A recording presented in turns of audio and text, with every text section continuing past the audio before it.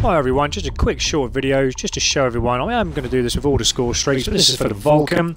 Um, make sure first of all you do set a class with a Vulcan on it, and I recommend a map like Domination.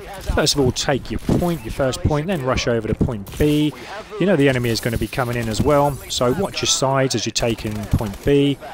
And as soon as you've got this point, there's your Vulcan. Nice and easy, nice and quick, within 10 seconds. Take it easy, guys. Speak to you soon.